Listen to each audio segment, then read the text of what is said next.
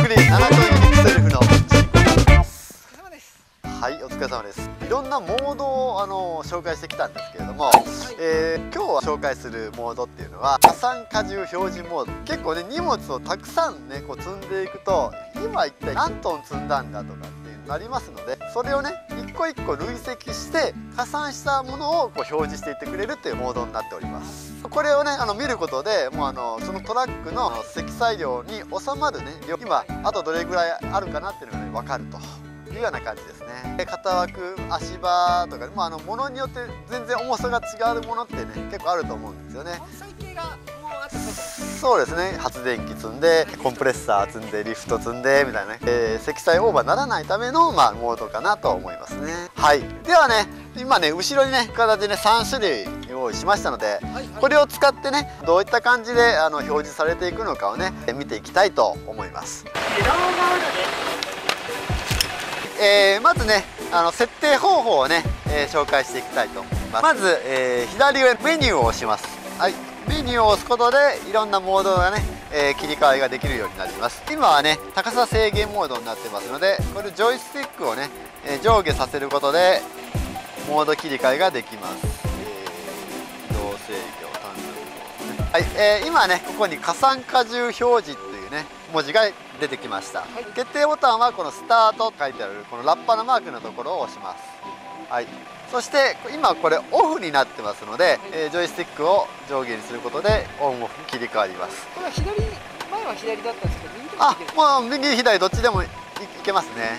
はいはい。はい。状態で決定をします。はい。加算荷重表示です。今ね加算荷重表示です。ということでねアナウンスがありました。でこれで設定は完了ですね。メニューを押すことで、えー元のね表示に戻りますはい、えー今ですね地切りしまして、えー荷重の方が0.98トンという表示が出ました。今度はね右側の四角の中に合計っていうのが出てると思うんですけどえーここにね累積した合計がねどんどんあの表示されていくようになるんですけれども、えーまずこれを足していく場合ですね。足していく場合はこのフック格納ボタンっていうのがあるんです。それをね、え1秒間、え長押ししてください荷重を加算しました。えー今ね荷重を加算しましたということでそしてその同じ980キロが合計の方にも表示されました。これで、えー作業を続けてとりあえず進んでいきたいと思います。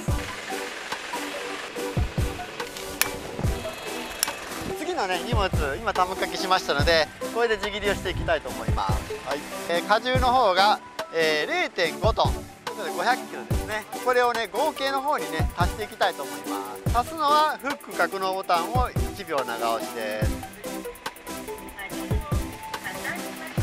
合計の方にね加算された数字が表示されております。でこれでね、えー積んでいきたいと思います。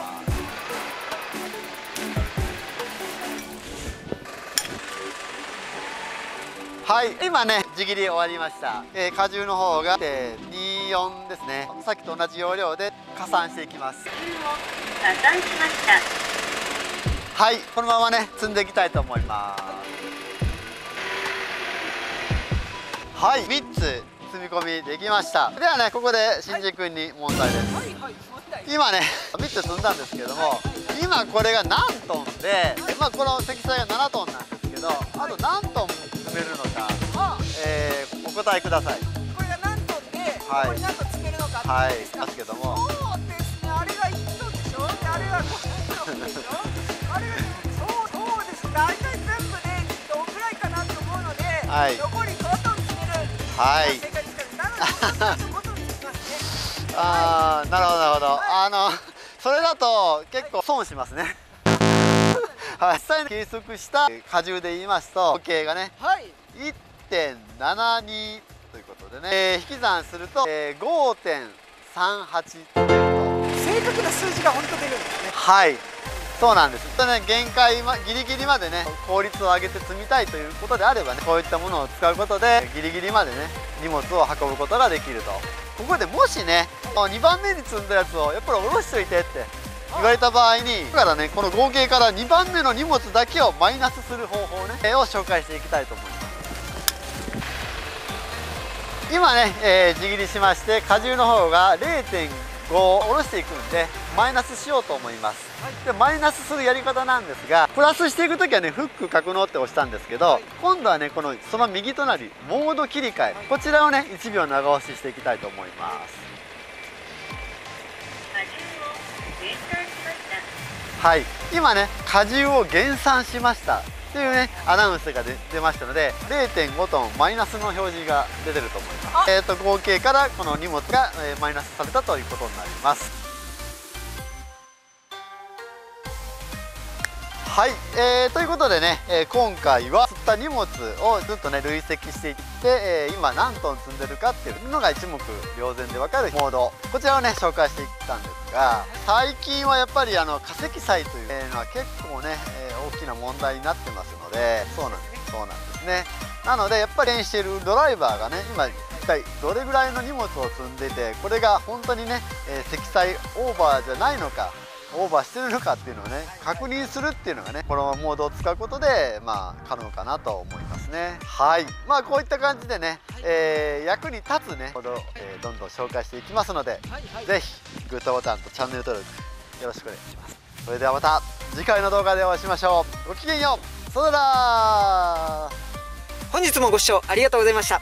新興産業では今後も新人ドライバーのための研修動画を作成していきますぜひグッドボタンチャンネル登録よろしくお願いします。それではまた次回の動画でお会いしましょう。